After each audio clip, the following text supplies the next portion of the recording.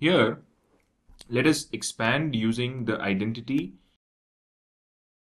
a plus b plus c the whole square equals a square plus b square plus c square plus 2ab plus 2bc plus 2ca.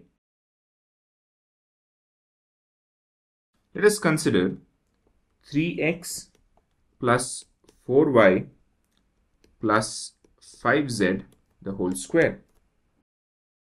So here a is 3x, b is 4y, c is 5z.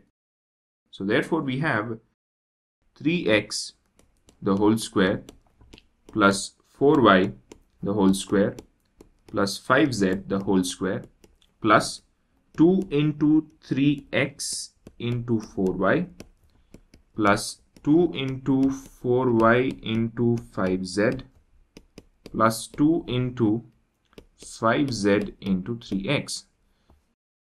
So all we need to do is just expand this. 3x the whole square is 9x square plus 4y the whole square is 16y square plus 5z the whole square is 25z square plus 2 into 3x is 6x 6x into 4y is 24xy plus 2 into 4y is 8y 8y into 5z is 40yz plus 2 into 5z is 10z 10z into 3x is 30zx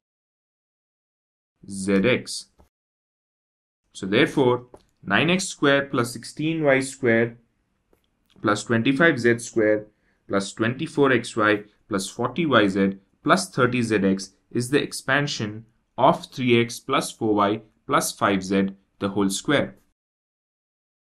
Let us consider another one which is slightly different that is 4x minus 2y minus 3z the whole square. It is slightly different because of the signs.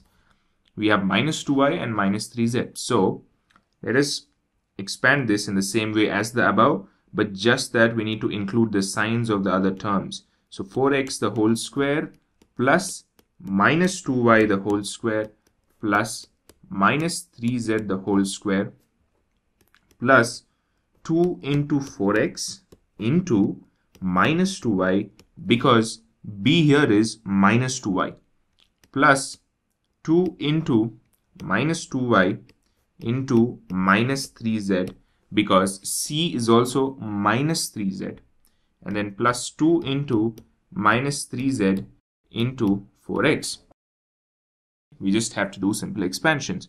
4x the whole square is 16x square minus 2y the whole square is 4y square minus 3z the whole square is 9z square 2 into 4 is 8 8 into minus 2 is minus 16 x into y is xy and here again we have plus 2 into minus 2 as minus 4y minus 4y into minus 3z is plus 12yz and the last expansion is plus 2 into minus 3z is minus 6z and minus 6z into 4x is minus 24zx.